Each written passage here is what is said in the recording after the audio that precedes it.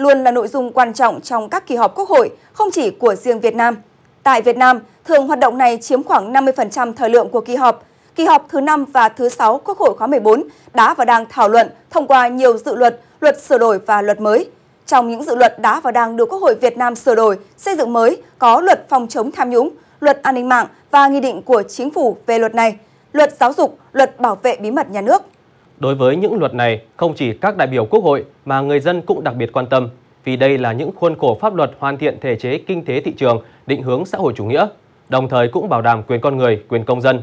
Thế nhưng trên không gian mạng đã có một số kẻ đưa ra những bình luận ác ý, xuyên tạc bản chất, mục tiêu và cả những quy định của nhiều bộ luật vừa được Quốc hội Việt Nam sửa đổi soạn thảo thông qua.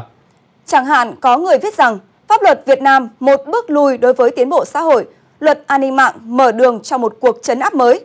Pháp luật Việt Nam vi phạm quyền tự do ngôn luận, luật hình sự, luật báo chí, luật phòng chống tham nhũng chẳng qua chỉ là công cụ trong cuộc đấu đá nội bộ, nhóm lợi ích mới cướp lại nhóm lợi ích cũ, hoặc chỉ là để trả thù, triệt hạ tay chân của người này, người khác.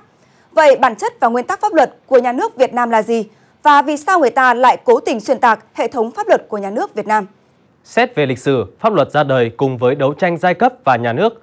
Trong khi xung đột giai cấp diễn ra ngày càng gay gắt và cuộc đấu tranh giai cấp không thể điều hòa được, thì cần thiết phải có một loại quy phạm xã hội điều chỉnh cuộc đấu tranh đó.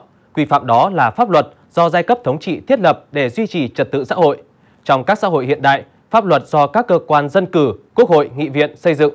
Tuy nhiên, nội dung chính trị của những quy phạm pháp luật vẫn do các đảng chính trị cầm quyền chi phối nhằm duy trì bảo vệ chế độ xã hội hiện hữu.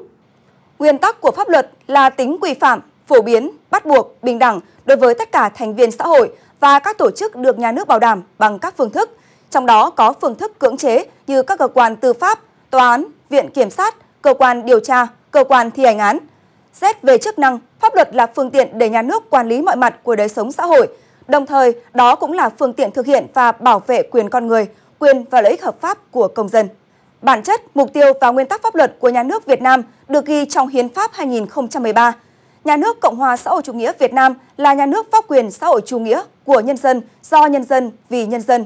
Ở quy định nói trên, nhà nước pháp quyền xã hội chủ nghĩa, nội dung chính trị là một Vai trò lãnh đạo cầm quyền nhà nước và xã hội thuộc về Đảng Cộng sản Việt Nam. 2. Nhân dân là chủ thể quyền lực nhà nước. Điều 4. Hiến pháp quy định. Đảng Cộng sản Việt Nam, đội tiên phong của giai cấp công nhân, đồng thời là đội tiên phong của nhân dân lao động và của dân tộc Việt Nam, đại biểu trung thành lợi ích của giai cấp công nhân, nhân dân lao động và của cả dân tộc, lấy chủ nghĩa Mark Lênin và tư tưởng Hồ Chí Minh làm nền tảng tư tưởng, là lực lượng lãnh đạo nhà nước và xã hội. Nguyên tắc nhà nước pháp quyền xã hội chủ nghĩa trước hết và chủ yếu ở quy định một Luật pháp giữ vị trí tối cao đối với nhà nước và xã hội. 2. Nhà nước bảo đảm thực hiện quyền con người, quyền công dân. Đồng thời, người dân có trách nhiệm tuân thủ pháp luật. Điều 15 Hiến pháp quy định, quyền công dân không tách rời nghĩa vụ công dân. Mọi người có nghĩa vụ tôn trọng quyền của người khác. Công dân có trách nhiệm thực hiện nghĩa vụ đối với nhà nước và xã hội. Việc thực hiện quyền con người, quyền công dân không được xâm phạm lợi ích quốc gia, dân tộc, quyền và lợi ích hợp pháp của người khác. Những quy định trong luật sửa đổi và trong những bộ luật mới gần đây đã thể hiện rõ bản chất và nguyên tắc của pháp luật nhà nước Việt Nam, phù hợp với sự phát triển của khoa học công nghệ, sự phát triển xã hội. Bộ luật hình sự 2015 về cơ bản giữ lại những điều quan trọng trong Bộ luật hình sự 2009 về các tội xâm phạm an ninh quốc gia và các tội xâm phạm trật tự quản lý hành chính.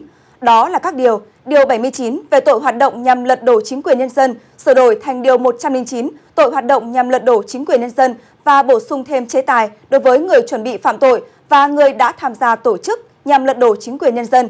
Điều 88 về tội tuyên truyền chống nhà nước Cộng hòa xã hội chủ nghĩa Việt Nam chuyển thành điều 117 với những quy định cụ thể hơn.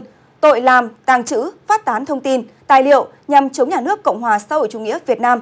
Điều 258 về tội lợi dụng các quyền tự do dân chủ, xâm phạm lợi ích của nhà nước, quyền lợi ích hợp pháp của tổ chức công dân được sửa đổi thành điều 343, nội dung vẫn giữ nguyên.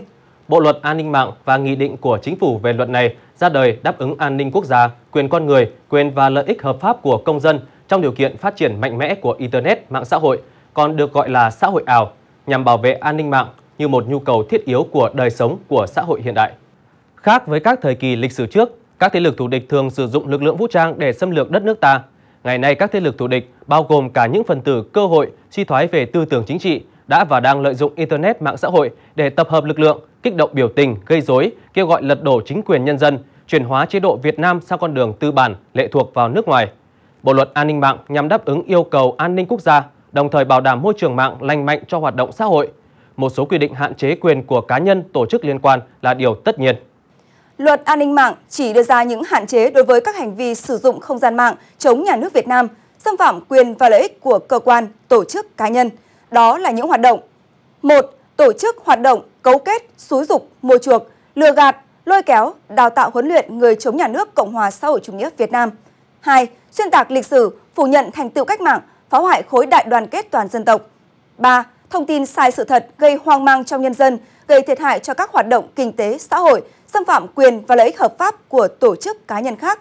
4. Hoạt động mại dâm, tệ nạn xã hội, mua bán người, đăng tải thông tin dâm ô, đồi trụy, tội ác, phá hoại thuần phong mỹ tục của dân tộc.